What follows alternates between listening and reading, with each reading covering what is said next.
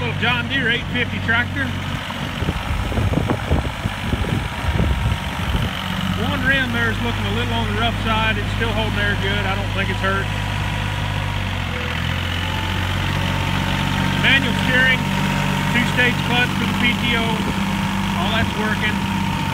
Real good tires on the back, probably 80% tread. Good tires in the front.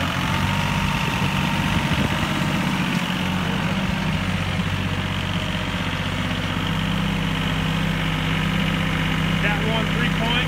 I do have a top link for it. I just got to put back on there.